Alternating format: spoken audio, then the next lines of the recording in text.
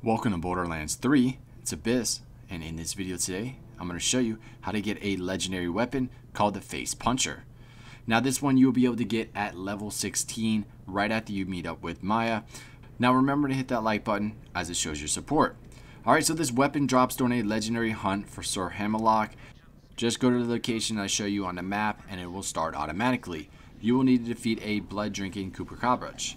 Now if the weapon doesn't drop, then go to the menu quit game and restart the game to try again. Now I got this one on my second try and I also got a legendary grenade with it. So I really feel like this one was a little bit easier to drop or maybe I was just extremely lucky and the fight itself wasn't that bad at all either. Other than that, I hope you all enjoyed the video. Don't forget to like and subscribe to support the channel and I will see you next time. Good kill, Vault Hunter.